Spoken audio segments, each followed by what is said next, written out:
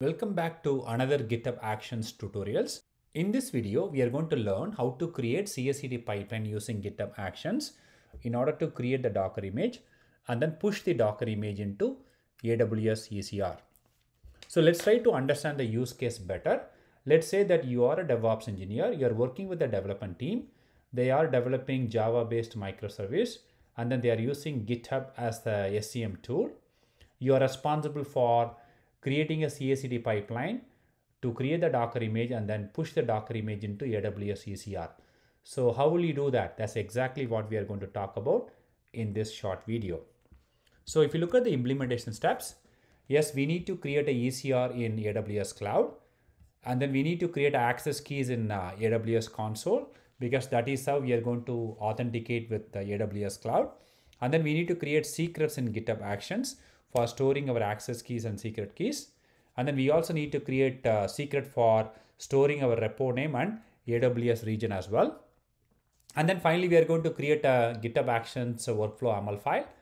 We are going to add a task for uh, building a jar file using Maven, creating the Docker image, tagging the Docker image dynamically, and then we need to log in into AWS ECR and then push the Docker image into AWS ECR.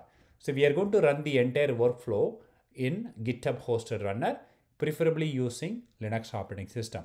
So I'm going to pick up Ubuntu in this scenario. Okay. And then once the workflow has been successfully run, we are going to verify if your image has been uploaded into AWS ECR or not, right? So that's it. It's a very simple uh, real-time use case, guys. So let's get started. So guys, you know, this is my website, coachdevops.com. I will be posting the link right below the video as well, guys. So if you look at the prerequisite, yes, we need to have our Java project configured in GitHub with the Docker file. So this is my uh, Spring Boot uh, Java-based application. So this is the Docker file. So this includes, you know, having the jar file, Spring Boot jar file, and then finally we are going to use, uh, you know, this command in order to bring up our Spring Boot uh, container. And then this is my pom.xml file. So like I said, we are going to use Maven for building the jar file.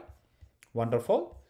And then let me go back to the instruction and then we need to go ahead and then create access keys. And then I already have my uh, existing ECR repo. So guys, this is my ECR repository. So this is where I'm going to upload my Docker image. But if you don't have one, you can also go ahead and then create your repository just like this. All right. Wonderful. And then we need to go ahead and then create access keys in uh, AWS console. Go back to my AWS console, uh, click on my username and then go to security credentials. So this is where we are going to go ahead and then create access keys. So let me click on create access key. All right. So we have created the access keys and secret keys. So we need to store them as secrets. Let's go back to GitHub repository, go to settings, go to secrets, click on actions if you actually see here, I have already created four different uh, secrets. Uh, one for access key and then region code and then secret access key and then of course a repo name. All we have to do is just go ahead and then update them. So let me start with the access key. Click on update. So I'm going to go ahead and then update them. Similarly for secret access key as well. So right after this video, I'm going to go ahead and then you know uh, deactivate all my access key and secret, secret keys so that uh, you know I don't want anyone to abuse the account. Perfect. And then we also need to update the region code as well. So the way you would know is if you go back to ECR so if you see here I'm actually under US East 1 so I'm just going to go ahead and then provide that US East 1 All right, perfect. Let's update that. And then similarly for our repo name. So, so what is our repo name? So this is my repo name. Perfect. Very good. Awesome. So if I go back to the instructions, so we took care of uh, creating access keys and secret keys. We also took care of, you know, uh, updating the ECR as well and then we also took care of uh, creating secrets and everything right so perfect so we took care of everything and then all we have to do is just go ahead and then create the workflow YAML file let's move forward right if I go back here I have already created the entire workflow folks. All we have to do is just, uh, you know, copy the entire workflow YAML file and then, you know, create that uh, pipeline. That's it. Okay. So let me go back to GitHub, uh, go to actions, click on new workflow. Uh, so I'm going to click on setup workflow yourself. Since we have the entire YAML file created, I'm simply going to go ahead and then copy and paste. Perfect. So let's go back here. Great. So if you see here, so this is the workflow name.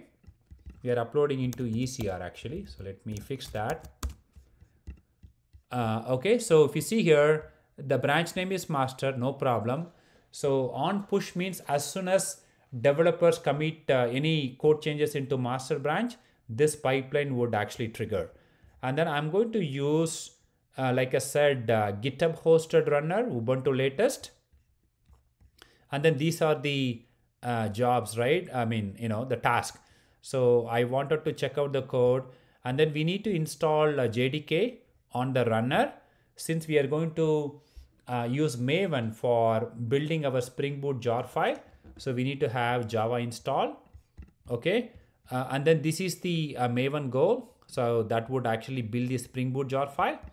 And then if you look at the next uh, action, so this is going to actually set up uh, ECR credentials.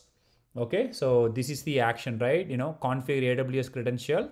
So this is going to read the access key from the secret. Uh, similarly, you know, both access key and secret key is going to read from the secrets. And then that is my, you know, region code. Okay. And then this will actually log in into AWS ECR using those credentials. And then I have updated the repository name over here. Perfect. I'm going to uh, create the image tags dynamically using this way. And then finally, uh, you know, we are going to build the Docker image. Okay. And then if you see here, this is how we are going to build the Docker image. And then finally, we are going to uh, push the Docker image, right, into ECR. Okay. So I don't want to use the latest, uh, uh, you know, tag and I want to build the Docker image tag dynamically. So that's it, right? So let's actually go ahead and then commit the code changes. Okay, let's commit. All right, so let's go back to actions. So as soon as you commit the workflow YAML file, the build got triggered. So let's see.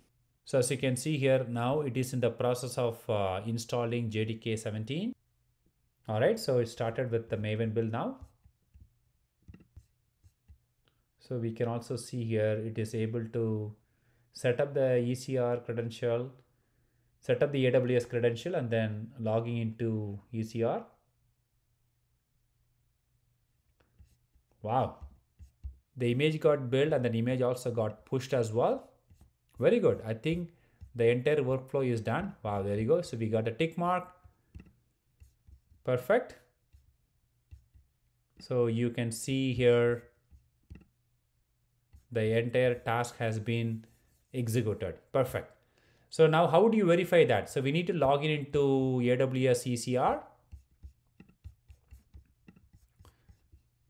Go to repositories, click on the repo name. Wow, there you go guys. So right now if you see here 1108, I think like 1109. So like a few seconds ago, our image got uh, successfully uh, built right so yeah so that's it guys you know that's how you would uh, create a CI/CD pipeline uh, using github actions for creating the docker image and then uploading the docker image into aws ecr thank you for watching this video guys